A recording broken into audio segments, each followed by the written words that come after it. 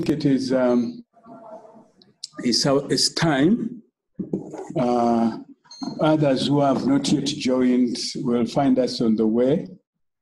Um, I, I, take the opportunity and pleasure to welcome all of us on this call. And uh, this is our second call in 2019. And uh, those of us who didn't attend the first one, I, I, I say Happy New Year. Uh, we hope this, this year is going to be great.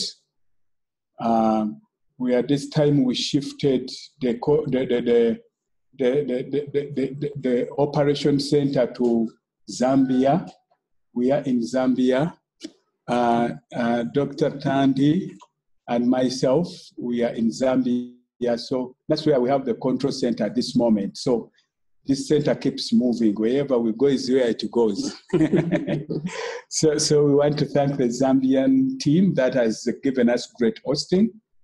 And um, all of you, I welcome you on this call.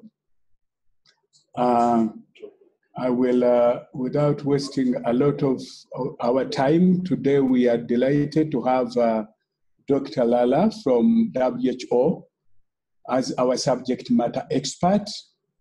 She's going to be tackling a very uh, timely topic on how to optimize monitoring uh, as we optimize ART uh, regimens.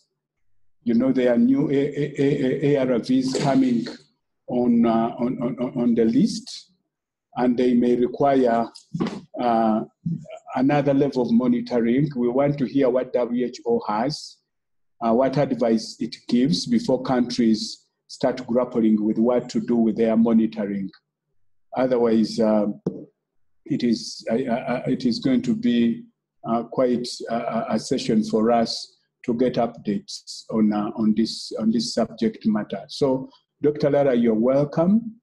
Um, I will ask you to take up the floor now, and uh, you'll be, I think, sharing your slides. Great.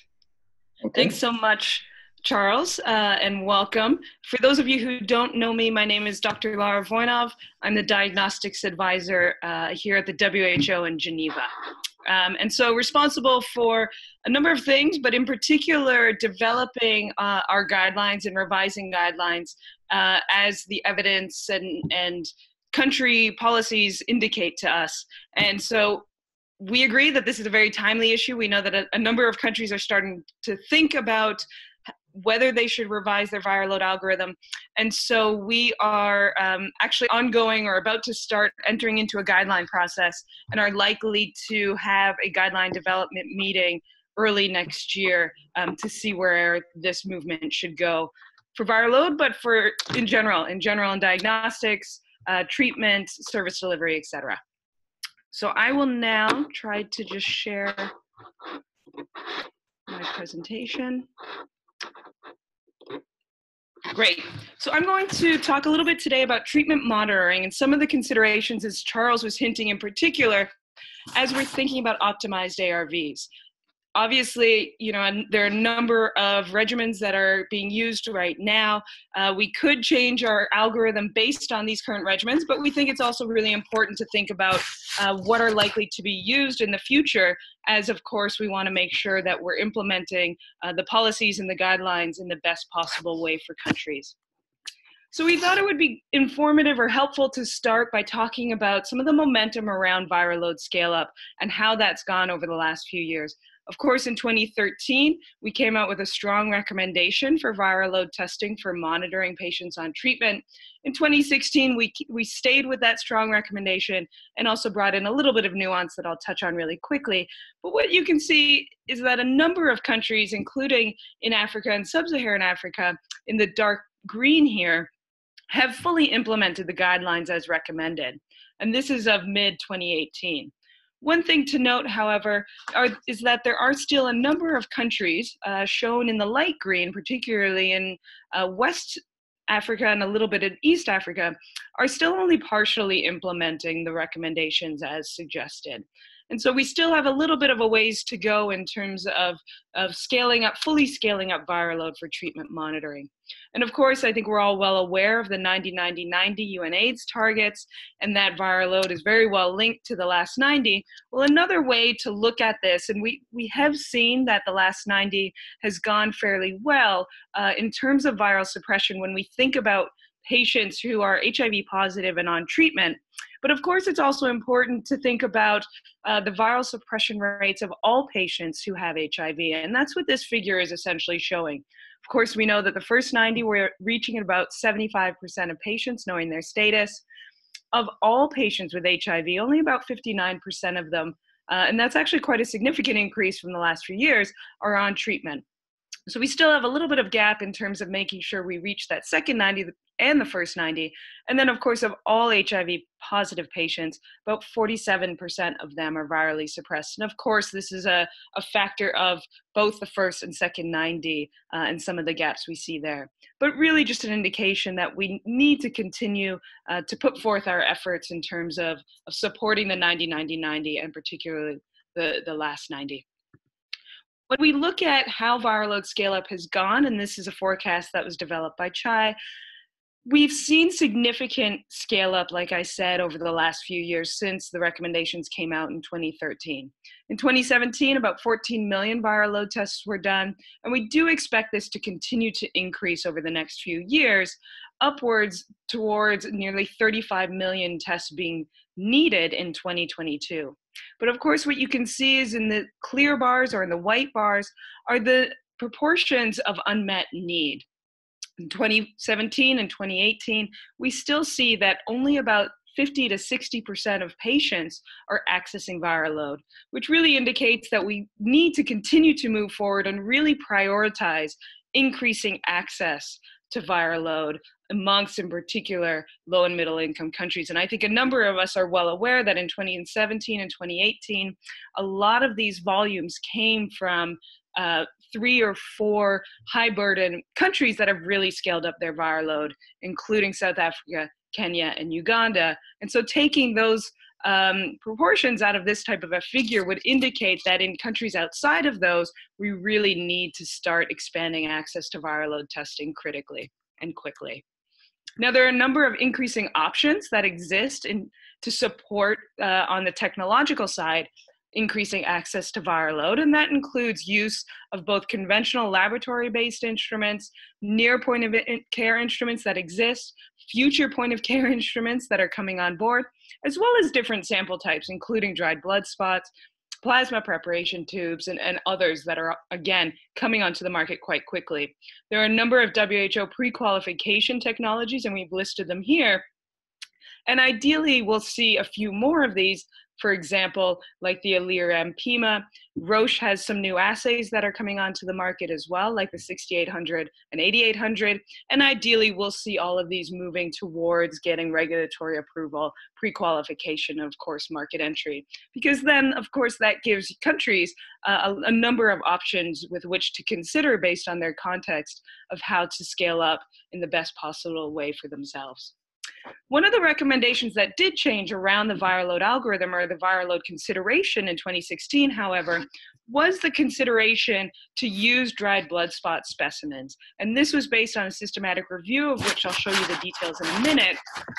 But effectively, the results suggested that, um, that dried blood spots can be used to do viral load testing. Of course, plasma is still the preferred and ideal strategy if possible, but that these dried blood spots could be used uh, at the same threshold as plasma at the 1,000 copies per ml. And these were based, this recommendation was based on, on these data that came out in the systematic review and hopefully will be ideally published in the next couple of months that shows quite solid performance for a number of technologies in being able to accurately classify patients as failing or not failing treatment based on that 1,000 copies per ml threshold. And in the yellow stars here, I've indicated those technologies that have WHO pre qualification listing, and you can see that their performance are quite strong. There are a couple of technologies that perform a little less well and have quite low specificities. And obviously, we want to really caution the use of these technologies. And for Roche in particular, because of these results, we saw a shift from them in terms of the DBS protocol and a move towards their free virus solution protocol. Unfortunately, what you can see here is a imp- significant improvement uh, in both in, in, this, in the specificity in particular with that technology. Now, both Abbott and Roche have also developed additional protocols uh, that can be used. Abbott developed a one spot protocol that has since received WHO pre qualification listing, and some of the preliminary data are quite favorable and seem to look quite similar to this two spot protocol data that we see in this table. Roche has also re- recently received WHO pre qualification listing for their plasma separation card, which is quite a, a good move. Uh, pardon me, and, and ideally we'll hopefully see um, some programmatic data or some clinical evaluation data for that technology in the coming months. Now, of course, all of this is to say, you know, we have, like I said, a number of options that can be used in order to scale up uh, viral load testing across countries. And really, hopefully, a, a, number of these can be mixed together to provide you with the best possible option. Because really, we want to start expanding access to testing. But at the same time, it's important to think about uh, and to applaud ourselves in the terms of the viral suppression rates that we see. And these come mostly from the PHIAs as well as national dashboards. And what we see is for those patients who are on treatment, we, we see quite significantly high viral suppression rates, generally between about 85 to 92% across a number of countries, including those that perhaps are not as advanced in their viral load uh, national programs as others, but indicating that the drugs are quite successful and we're doing a good job of, of ensuring patients are, are on treatment and relatively well retained in order to achieve these numbers.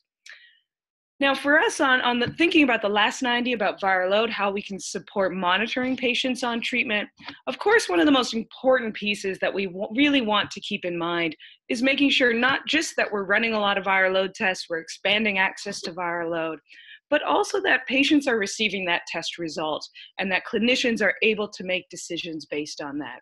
What we see is that we, we've had some challenges in this.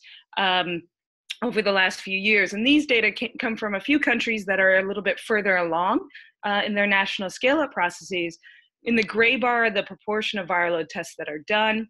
In the blue bar, the proportion of viral load tests that were elevated or above 1,000 copies per ml.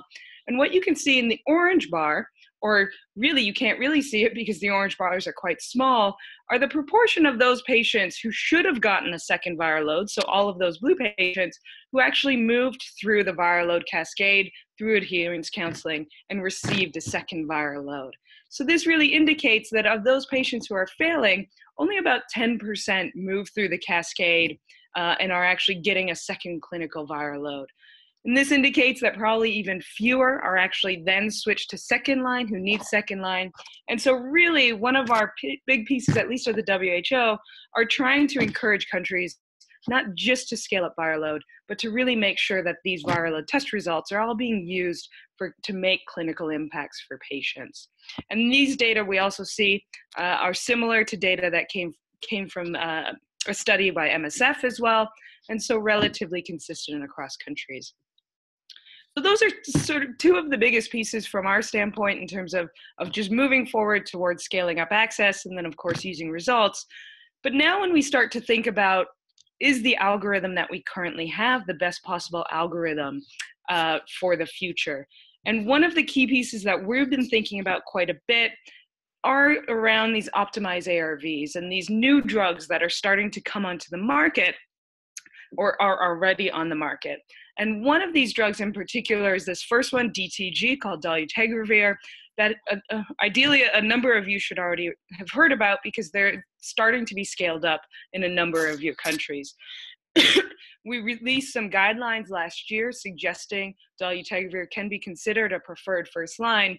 And what you see, especially when you compare it to the second column here of efavirenz, which are the, uh, the previously preferred regimen, is that number one, dolutegravir has a very high barrier, genetic barrier to resistance, much higher than efavirenz, but also currently systematic reviews have looked at the, the amount of drug resistance seen um, caused by, by dolutegravir. And what has come out that is that patients who are on dual or triple therapy, no one yet uh, has experienced any drug resistance to dolutegravir.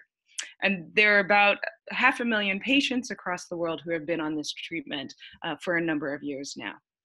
Of course, there are some lingering issues around the use of dolutegravir in women of childbearing age, uh, but at least on our standpoint, we'll be entering into a guideline session in June to really look at this a little bit further and determine whether we can move forward there. And then, of course, another key difference between these two drug sets um, is that dolutegravir has few drug interactions, especially compared to efavirenz. And this is a key piece linked with the drug resistance piece in that patients may be able to take dolutegravir. Uh, they're more, it's more tolerated, uh, and it's a drug that perhaps patients can be on for a significantly long period of time. And we've started to see uptake now of dolutegravir in particular. Uh, and this, you know, like I said, recommendation only took place in the middle of 2018, but you're already seeing a number of countries moving forward, not just in putting dolutegravir into their national guidelines as their first preferred first line treatment, but a number of them are already starting to initiate procurement and moving towards uh, implementation of this as their uh, first line treatment. And we'll see uh, likely significant movement over the next few months as uh, PEPFAR countries are entering into their COP season. Now, when we start thinking about the algorithm again, I just wanted to provide some of that background to provide you some thinking on our end in terms of, of what the viral load algorithm should look like. We are thinking about this in the context both of patients who are on efavirenz as well as patients who are on dolutegravir.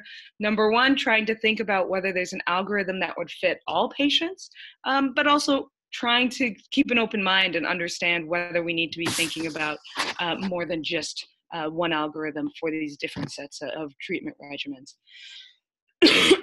so when we look at our um, viral load algorithm, our treatment monitoring algorithm. I won't go into too much depth because I'm, I'm sure that you're all well aware of it, but just to keep in mind that uh, currently we still have a threshold of 1,000 copies per ml to indicate possible treatment failure Patients are then meant to uh, receive a second test after adherence counseling at about three months. And for those who still have an elevated viral load, should then move on and be switched to second line therapy. Of course, the first viral load we recommend at six months after treatment initiation. The second one then should be done at 12 months and, and yearly thereafter. And when we take a look at uh, country policies uh, of this algorithm, we see fairly consistent uptake of our treatment failure recommendations. And you can see here that nearly 50% of countries uh, follow the recommendation as we see fit. For the most, for the rest of the countries, as you see here, uh, the majority of the changes are really just adding additional viral load tests on, and that's potentially within the first two years. But there are also some countries that are doing six monthly rather than yearly viral loads. And I think on our end, um, we would what our recommendations state is is really the minimum that we're suggesting of countries in order to to monitor. But for those countries that are keen to do additional viral loads, uh, we think that that's uh, just a fine response to move forward. And so some of the questions that have come up over the last few months um, is whether or not we should think about and consider doing an earlier first viral load in order to try and better identify those patients who may have transmitted drug resistance. So they've acquired drug resistance potentially through um, through their partner. And so would increasing or bringing the first viral load closer to ART initiation, potentially try and identify those patients who just have drug resistance and may not be able to suppress on their current regimen. Some suggestions have thought about moving to one or three months for that first viral load. Uh, and there have been some indications that perhaps um, it is likely that you may identify drug resistance in patients who are still elevated at that time point um, more so than you would at six months. But there are some data, and a number of studies are coming out um, that are looking at the time to drug to viral suppression on different sets of drugs. And what we're showing here what I'm showing here is study from is data from the DolPHIN study. In red is uh, the dolutegravir regimen, and in blue is the efavirenz regimen. And what you can see, I've noted that the first green line is at that one month time point, and the second green line is that, that three months time point. And essentially what you see is by one month, um, more than 50% of patients still have viremia in both of those regimens, just because it does take some time for patients, once they start a regimen, to bring their viral load down to undetectable. So having that first viral load uh, at one month is a little bit concerning because it would un- incorrectly identify 50% of patients as failing when really their, their viral loads are just still coming down and it's taking a little bit longer. If we moved uh, the viral load to three months, again, potential that it could uh, identify patients more quickly than waiting until six months after ART initiation. But for those patients on efavirenz in particular, we still see upwards of 30% of patients still being a little bit viremic on the way down uh, to suppressing their virus who could potentially be mis- in- incorrectly identified as failing treatment if we were to move up that second, that first viral load. So we're a little bit cautious at this point, but I think we're looking to collect some of the data over the next year to really understand the clinical importance and relevance of um, an impact of potentially moving that first six months uh, viral load earlier. But I will say currently we're still uh, a little bit cautious in moving forward there. Another suggestion from some groups is that potentially switching um, patients to a second line treatment could happen um, after a single viral load. And so those patients who have an elevated viral load just after that one viral load um, would be switched to second line. I think, as you can imagine, there are some concerns there. Of course, you know, it would be at, at that point essentially impossible to determine who is elevated because of adherence and who is elevated uh, perhaps um, by drug resistance. And that is why we, we currently put in that second viral load check. And so we're consolidating the data here as well, but I will say that we're very unlikely to move towards this direction of suggesting that a single viral load uh, be considered before switching patients, partly because we are seeing relatively high programmatic resuppression rates. So essentially, that elevated viral loads are often caused actually by adherence rather than being by drug resistance. And there's a systematic review that we've commissioned that is just being finalized now. And of course, this is very relatable to the introduction of dolutegravir, as I was talking about, which has no observed drug resistance. And so, in, in considering or encouraging a switch of treatment after one elevated viral load would likely be a very um, perhaps incorrect or unimpactful way to move forward with patients on dolutegravir. It is the best of class drug that we know of right now and has no drug resistance, so we'd be switching patients off of the best drug onto a suboptimal drug with this type of an algorithm. So, like I said, we're cautious, um, but we do want to see any of the additional data that may exist um, before making final decisions.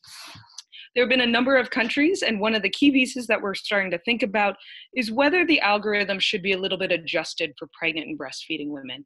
And this is particularly for pregnant and breastfeeding women who have been on treatment for some time, because you can imagine that only getting yearly viral loads could mean that we miss the entire pregnancy of a woman. Maybe she got her last viral load two months before getting pregnant, so then she's not due for another one until just after delivery.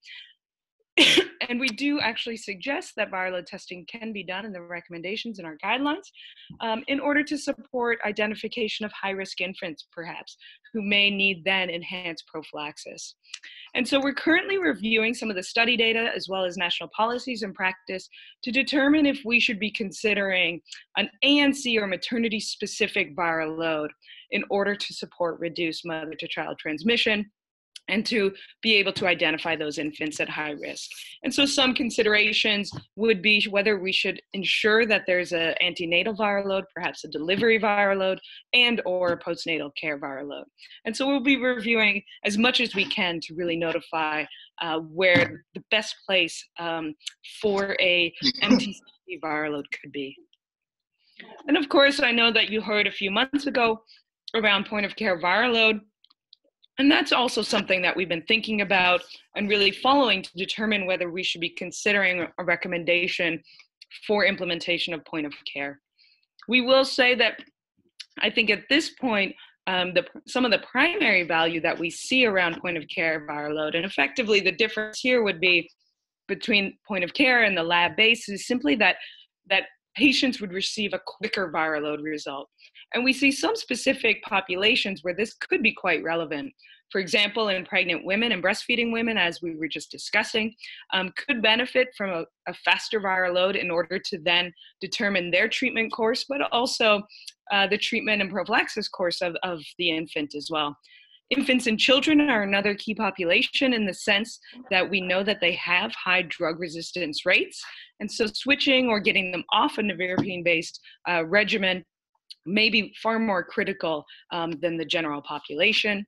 Patients with advanced disease who may be uh, particularly sick um, and, and, in need of, a, of an improved regimen could benefit from a quicker viral load result those who are suspected of failing, so perhaps those who are needing that second post adherence viral load, especially if they're sick re entering care, for example, um, may benefit from a faster viral load in order to more quickly switch um, to second line or just in, in order to more quickly move towards adherence counseling um, and such practices. So right now, we don't have a recommendation to use point of care or near point of care technologies for treatment monitoring, but we are very closely following some of the impact studies and implementation pilots that are ongoing. I will indicate though that we do uh, strongly suggest that countries that are that have technologies that can what we call do multi-disease testing. So perhaps um, the the Cepheid GeneXpert. Um, there are a couple of technologies like the Abbott M2000 that can also do TB testing soon. Um, should be considered to integrate um, early infant diagnosis and viral load onto the TB platforms as well for more efficiencies. now, finally, one of the last pieces that we're thinking about when we go back to our algorithm and where some of the changes could be considered is thinking about whether or not the treatment failure threshold, this 1,000 copies per ml, is still the best threshold to consider for patients. I think many people are likely aware of a study that came out um, a couple of years ago now from South Africa that looked at low level viremia rates and found that patients with low level viremia may be more likely to have drug resistance than those who are undetectable. I think one of the things that we would obviously consider is that patients with any virus perhaps would be more likely to have drug resistance than those with none, but we really are trying to understand and and see if additional studies will come out to really provide the clinical impact of this potential phenomenon.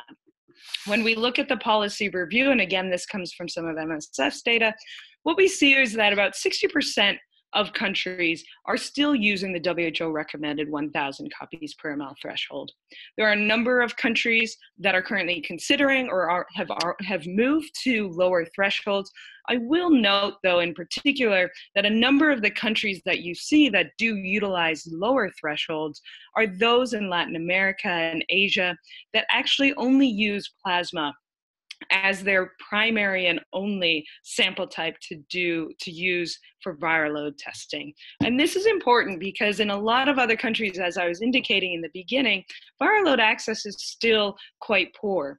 And we want to make sure that we can improve access because we know some of the sample transportation issues that we've seen. And so we're thinking about low level um, viremia and the treatment failure threshold in the context of a number of different issues. And one of them is in the potential use of alternative technologies and sample types like dried blood spots, like near point of care and point of care technologies, because we want to make sure that if any threshold changes, we can continue to provide support to countries using these alternative um, sample types. And what we're showing here is just to really indicate and emphasize that countries and the, the reliance on these alternative technologies like dried blood spots is quite considerable and some countries in eastern southern africa will rely on on these alternative sample types like dbs for over 70% of their patients. So if any new uh, threshold is to be considered we want to make sure that it can still be used with dbs with plasma separation card with uh, point of care technologies, or else we really could be limiting the amount of access that patients could have uh, for viral load. And this is really nicely illustrated in the next couple of slides, where we look at um, where some of the viral load labs are across countries. And what you see is generally they're in the urban settings, and these are some, four different uh, country examples. And the rings around each of the urban centers are essentially the geography and the patient centers where samples can get to the lab in the required manufacturer specified six or 24 hours worth uh, of time. And so those patients who, who go to facilities outside of these rings unfortunately are very unlikely to have their specimens reach the lab within that required time period. And as we know, some things are not always so perfectly um, set up, and, and there are likely to be facilities and patients within these rings who also, unfortunately, cannot get their samples to the lab in that required time period. But luckily, we do know that a lot of the patients seek care in these urban centers. But I think one thing in particular that we really want to highlight from this slide is the sliver in green here. So similar to the previous um, slide with the DBS access, what we see is about 50% of patients potentially won't have access to viral load testing or can't have access to viral load testing if only plasma would be used and offered uh, for their countries. And so it's important, obviously, in every country to really look at this a little bit closer and to understand whether or not um, the technologies you're using and, and the sample transportation networks can provide plasma access to all within the six or 12, 24 hours as indicated, or if these alternative technologies are needed and to what range.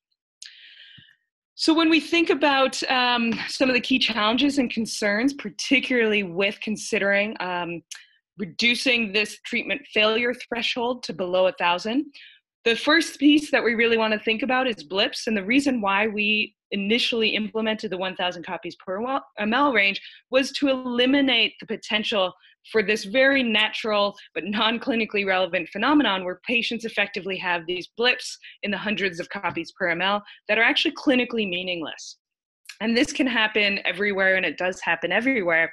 And essentially, we just wanted to make sure that, that these blips were not misinterpreted as clinical failure or potential treatment failure. Um, and so lowering the threshold would essentially then potentially um, have patients who have these blips uh, be considered for treatment failure when in fact they're, they're just uh, a phenomenon that we see. Like I said, we want to make sure that some of these alternative technologies like DBS and point of care um, can still be used and, and technically possible to be used at any lower threshold. And we're doing some reviews right now to look at this a little bit closer of course, if this is a, a real phenomenon, um, we also want to know if this is a real phenomenon for patients who are taking dolutegravir. So, like I said, a lot of the um, global excitement is around really implementing and scaling up dolutegravir significantly. And because of the lack of drug resistance, we're very cautious and really a little bit unsure that low level viremia is an actual clinical uh, concern for patients who are on dolutegravir. And then finally, there have also been um, some data that will likely come out in the next few months that have actually indicated that samples that have been stored incorrectly, so they've either potentially been um, stored for longer than the 24 6 or 24 hour time point that rec- that manufacturers recommend uh, may actually be causing these low level viremia results seen. So patients who should be considered um, undetectable because of this incorrect storage or poor storage are actually coming up as low level viremic um, and so perhaps that indicates that it may just be an artifact and not necessarily clinically relevant. And so we're trying to balance these and really get as much data as we can over the next few months and year to inform us in the best possible way. But we will say that we're very cautious uh, for countries to be moving towards lowering their, their threshold. Um, and we would suggest limiting that type of a change, particularly in countries that really still need to be scaling up access to viral load and ensuring clinical utilization of viral loads. And I will just hint at, at the bottom here. Um, why we also suggested use of the 1000 cutoff per 1000 copies per ml threshold initially. And i know that there's some of the u equals u um, platforms that are coming out that are indicating or suggesting concern for this threshold in terms of, of potential transmission. Well, studies have come out, and, and this is the one of the seminal studies that came out a number of years ago, that essentially showed that transmission is very, very unlikely um, when your viral load is less than 1700 copies per ml. So we took that data as well as the BLIPS data and came together to really determine that patients that had less than 1,000 copies per ml were likely um, more often than not just blips and artificial phenomenon and were very unlikely, uh, very, like I said, very, very unlikely, less than 0.01% of a chance to transmit uh, to, to any partner. So again, I think we really um, are taking some of these results with quite a bit of caution um, and really uh, suggesting potential limited changes until additional data are collected. So just to conclude quickly, um, we wanted to touch on, uh, just to highlight that again, plasma is the gold standard that we recommend. And we really, you know, if you're going to use plasma, ensure that transportation can happen within six to 24 hours. If that's not possible, of course, there are several alternatives that could be considered, like dried blood spots, plasma preparation tubes, uh, etc., that can be used to really supplement and optimize your system in order to expand access. And of course, that's the most important right now is, is really increasing that access so coverage can be above the current 50 to 60% rate in some countries, as well as improving clinical utilization. I know that ASLM is really moving forward in nice force on encouraging and, and trying to support better clinical utilization because we can do as many viral load tests as, as possible, um, but without actually using the test results we're, we're not servicing patients and clinicians as best as we can. And so those we would suggest are the two priorities.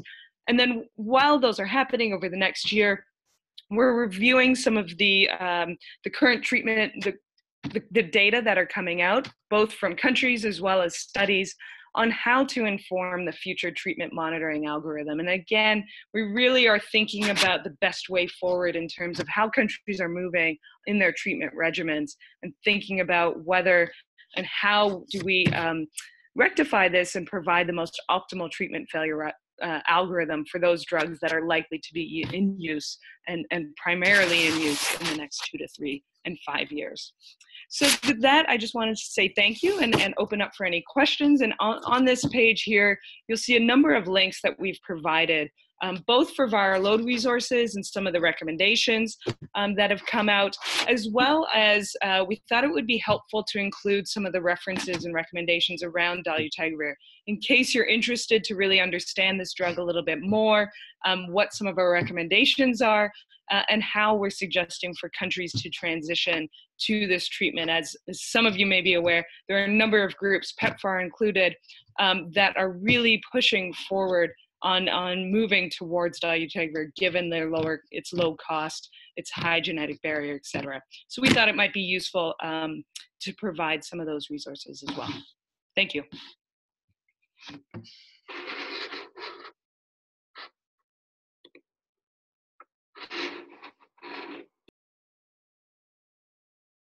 Okay, thanks very much, uh, Dr. Lara. That was quite informative. And um, bringing the focus back again to what we should be really focusing on now. Because there's been a lot of a lot of discussion and agitation around, you know, the monitoring and the uh, uh, uh and the cutoff for treatment failure, and the kind of at the expense of scaling up access as well as utilization of results. Where we want really to have focus is how do we make sure if we are at around 50 to 60%, how do we ensure we push this to 90 or 90% plus? And how do we make sure that all these data tested eventually get their results and their results impact care? So we, we want to, to rejig uh, the, the focus back again onto those two uh, uh, focal areas that we feel uh, from the reviews and, uh, and assessments we have done with countries that these are needed areas that need to be focused on. Thank you very much, Dr. Lara, for bringing these updates and reassuring us that still the cutoff, the 1,000 cutoff is still relevant and uh, even as we optimize ART Otherwise, uh, I would want to open up the discussion to questions. I know you've been pushing questions to the chat, and uh, if you have not yet, you can do that. There are people monitoring the chat that I would want us to read out the questions and react to the presentation. Please, uh, Nicholas, can you do that? Yeah, yeah. We have. Uh, thank you very much, Dr. for the presentation. We have uh, a couple of questions in the chat. And uh, the first one is from uh, Thomas from Uganda and is asking, have you explored the factors influencing country modification of viral algorithm and stroke or the lack of modification? That's the question from Thomas. Then the other question is from Dr. Pasco, and she's asking, uh, should countries adopt their list of recommended minimum testing packages to also include POC viral at lower level. Would this contribute to improve access to viral testing? That's from Dr. Pasco. And then we have uh, a question from uh, Laura, and uh, she's asking, uh, since we know that vast, since we know that vertical transmission can definitely occur at lower viral loads, i.e., between 50 to 1,000 copies per mil, has there been any consideration of lowering the viral load threshold especially in breastfeeding women or pregnant women. And then uh, the other one from uh, is uh, given the poor performance of some DBS-based technologies, is there data which indicate utility consecutive viral results for a single patient from the different technologies? And then the last one from uh, Zin Drovu is uh, he's asking uh, has WHO done evaluations on the new Roche plasma separation card? What is their recommendation on its use, given its slightly better performance than DBS, especially with the near introduction of DTG and the need for better performing sample carriers? I think you could first answer those. These questions are in the chat and all of us can access them as Dr. La answers them. Thank you. Great. Okay. Um, so I'll attempt to answer them anyway. Um, but taking a look at some of the questions, the first one around the factors influencing countries uh, and their modification of the viral load algorithm or lack of the modification, I think it is definitely something that we'd like to look into a little bit more and understand um, how countries are, are thinking about moving forward and making some of these adjustments. I know that in previous conversations, particularly at ASLM's uh, lab community of practice that we all attended in Uganda uh, late last year, um, some of the, the future modifications at least came up, and those were really helpful conversations in thinking about our future guidelines. Um, but it is important, or it will be really useful to think about sort of the lack of modification uh, in some countries, and we, we have had some conversations with countries to, to try and understand this. Um, Pascal's questions around um, adapting the recommended minimum testing packages to include point of care viral load at lower levels. I think at this point, at least from our standpoint, we don't have a recommendation specifically on point of care viral load. Um, I think we're looking to see and, and better understand some of the, the, data, and we know that ongoing that studies are ongoing that will be really informative in how we move towards making a recommendation in early of next year potentially. Um, but I think, like I said, you know, there are some populations that really could consider point of care viral load um, in order to provide some of that support. And I think we would encourage countries to think about how that would fit in their system um, and how, you know, that may support some of their key um, patient populations. If they have, for example, uh, relatively high rates of patients with advanced disease, point of care viral load could be very useful if maternal to child transmission is still a significant issue, perhaps point of care viral load can support um, such of those re- uh, reductions, perhaps, in terms of being able to um, identify mothers who have elevated viral loads or have vi- viral loads and may uh, transmit to their infant. And so being able to provide those moms with better adherence, making sure that they switch to second line if they need to be on second line, as well as putting infants if they're uh, if it's a high risk infants, then on enhanced prophylaxis. So we uh, we do see a potential role of point of care viral load, and I think countries would be um, would would benefit from thinking about that within their context as well. So moving on to Laura's question around consideration of a different threshold, uh, specifically for pregnant and breastfeeding women, I think it would be helpful for us to understand um, because we know that transmit vertical versus horizontal transmission can be different, as you're indicating here. Um, that vertical transmission can occur at these lower viral loads, whereas we don't see that as often at, um, with horizontal transmission. Um, I think we'd be open to looking at these data and thinking about whether the threshold needs to be different for these different populations when we think about vertical versus horizontal transmission. Of course, I will just say one of the other pieces that we've really been moving towards, and I think some countries may, may have seen this and partners on the early infant diagnosis algorithm, is that we want to ensure that any algorithm that we put together is relatively straightforward, relatively simple to apply and to implement. And so I think that's especially why we're being a little bit cautious in moving forward in this process, because we want to make sure that the algorithm is used, that the clinical results are used, because that could potentially be one of the reasons um, why patients aren't switching as, as frequently as we would expect. So we want to keep that at the back of our mind to ensure um, that it's something that's the most implementable. And so, of course, having various different treatment thresholds um, could be a little bit more challenging in the field, but I think we definitely want to think about that and, and see uh, if the data are compelling. Um, so then on to Anafi's question around um, some of the performance around DBS um, and whether it would indicate utility of consecutive viral load results for a single patient from different technologies. Um, I will say in this setting, you know, I don't think, at least in our standpoint, that we would classify DBS performance as being poor.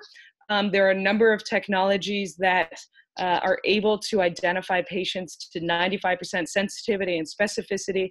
And when you think about viral load being used in an algorithm, of course, um, as well as being a repeat viral load for those patients who are still stable and undetectable, um, you know, the risks of missing patients are not as high as you would think about for a diagnosis, for example.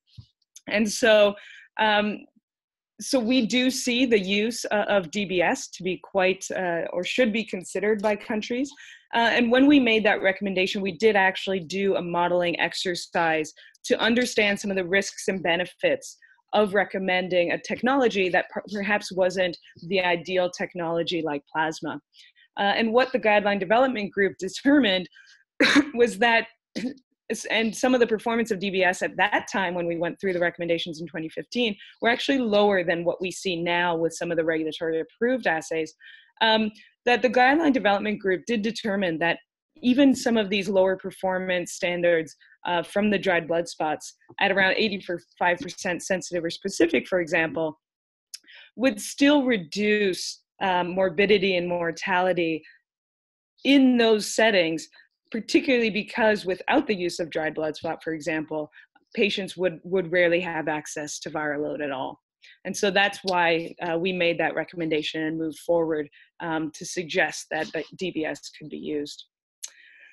So when we move on to the plasma separation card, um, WHO has now listed it for uh, pre-qualification. So it is available for procurement with our member states we don't have a specific recommendation on the use of, of plasma separation cards, and I'm not sure that would be something um, that's discrete enough or that's clear enough to provide a clinical programmatic um, recommendation, but could fit into, for example, the recommendation around the use of, of alternative um, considerations and technologies like dried blood spots.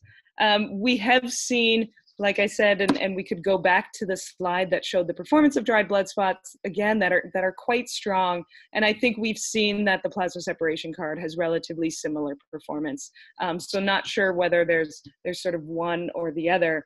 Um, but as you indicate, it would be interesting to look at um, the performance and, and the utility of all of these different alternative technologies when you think about diabetes scale up. Um, interesting question um, for the next one around the transition to optimized ARVs and what the future means for viral load testing effectively, um, whether it will become a test to check adherence. Uh, and, you know, I think at least in an ideal world, um, from our standpoint, yes, I think essentially viral load could become an adherence testing tool if the profile, the high barrier to drug resistance profile, is maintained with dolutegravir. Uh, we have seen a little bit of drug resistance for patients who are on dolutegravir monotherapy. Um, it's still relatively minimal. Um, but you know there is always the worry that maybe some drug resistance would would happen for patients who are on dual or triple therapy with dolutegravir. That said, again, we haven't seen any yet. It's been a number of years and, and thousands and hundreds of thousands of patients. But if we don't ever see drug resistance to dolutegravir, um, then effectively that kind of um, this kind of viral load test would essentially primarily be an adherence check. Um, and so thinking about how to move forward with that would be would be an interesting piece.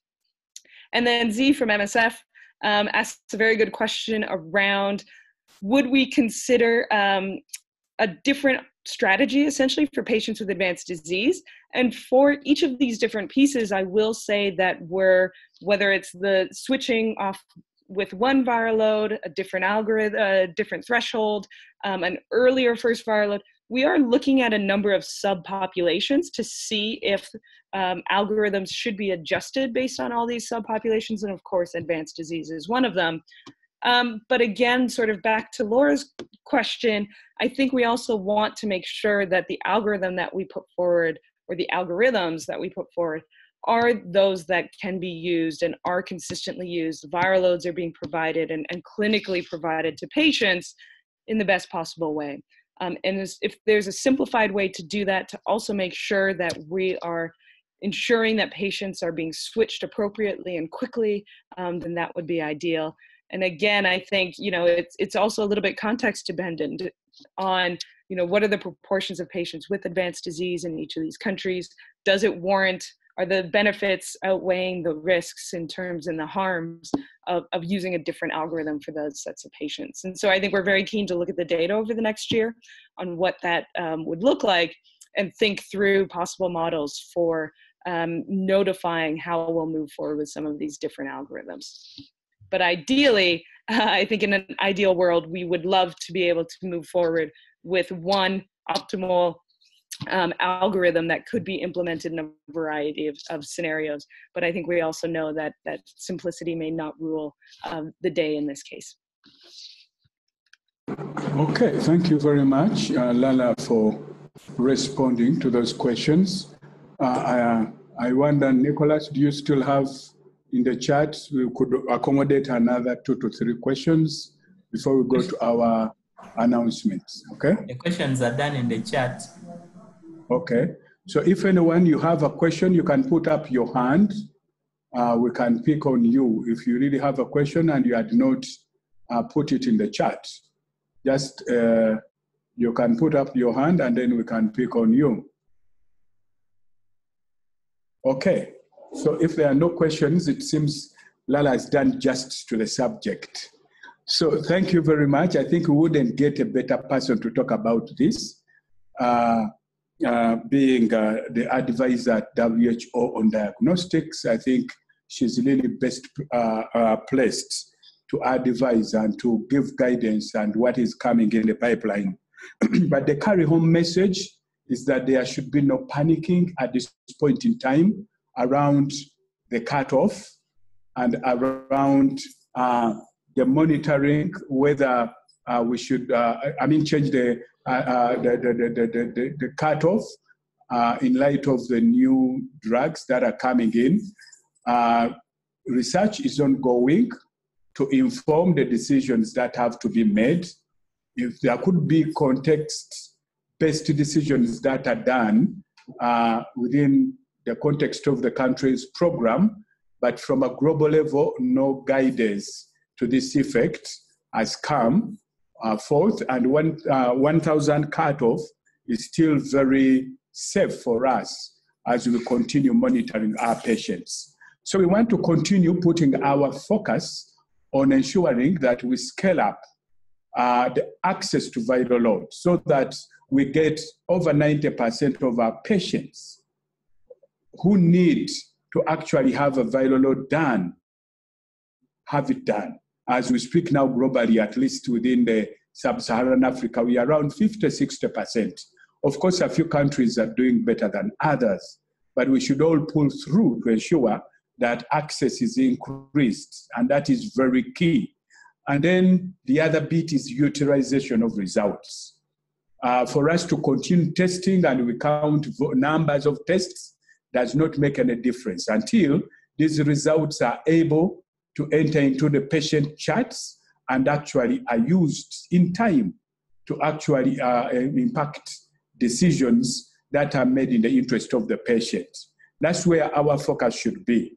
And as uh, LabCoP, this is where we put our focus from the meeting that we had in Uganda and doing uh, an analysis of the assessments uh, that came that was done in, uh, in, in, in, in, the community, uh, in the countries within the LabCoP community. We found these are areas, these two areas are areas that every country needs to focus on. And uh, we've been doing uh, COP19 planning We've been Lily on your case. You remember we've been checking on you, how far you are engaging with a COP planning uh, uh, team within in country.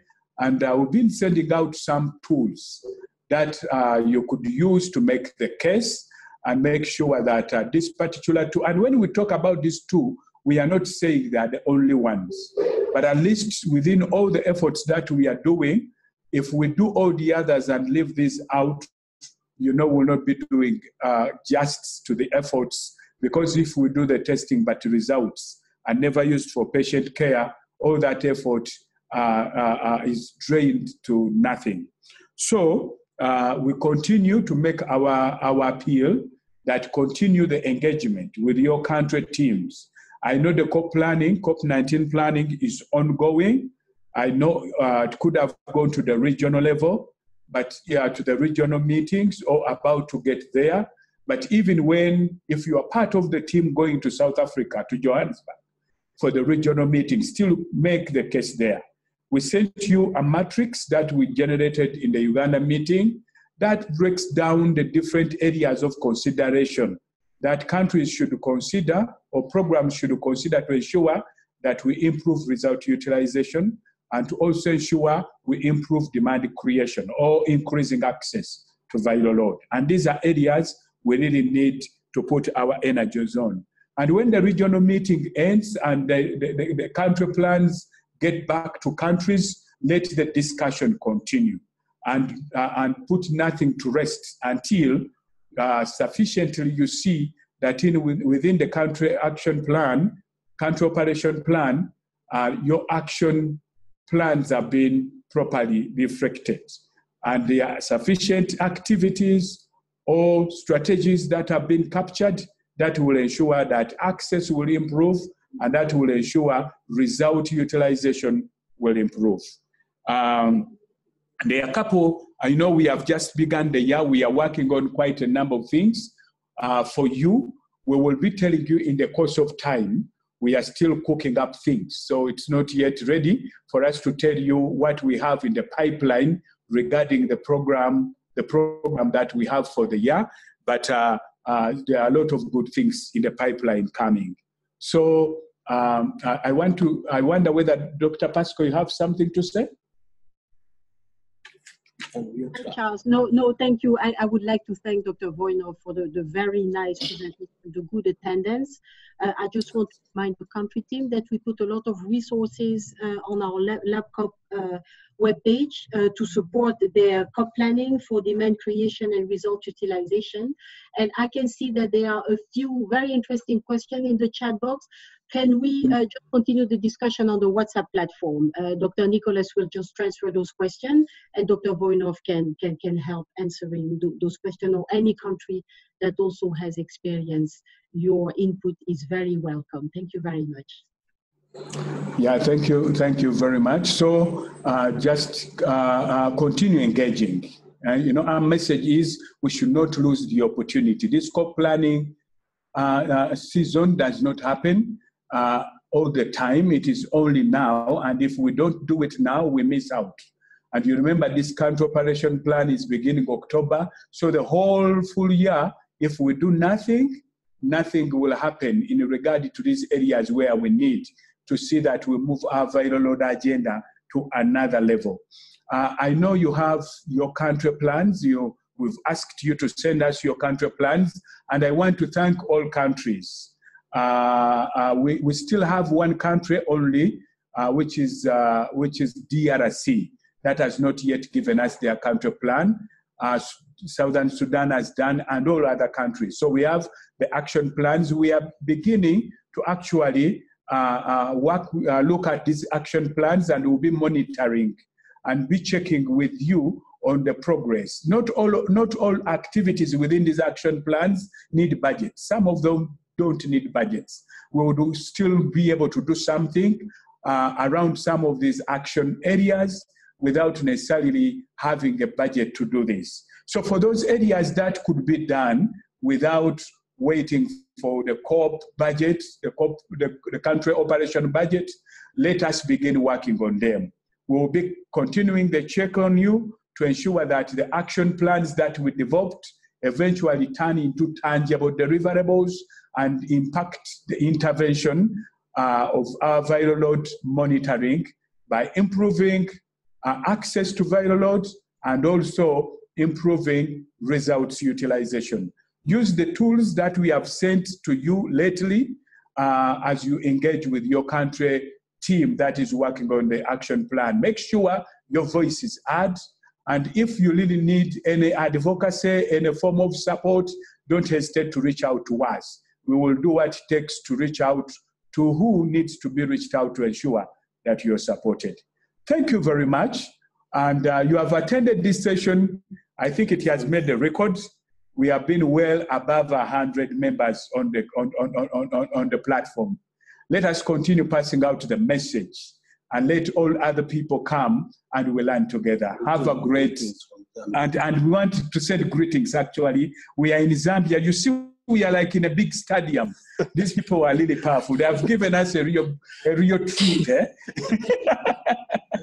they have given us a real treat. And if you are not careful, we may, we may get stuck here. but we want to thank the Zambian team uh, for being very hospitable, for being very uh, good. Uh, doc, uh, Dr. Tandy and me, we are here. We are given red carpet treatment. Thank you very much. Nice time. Let us continue the discussion on WhatsApp. Bye. Bye-bye. Yeah. Bye. Bye. Bye.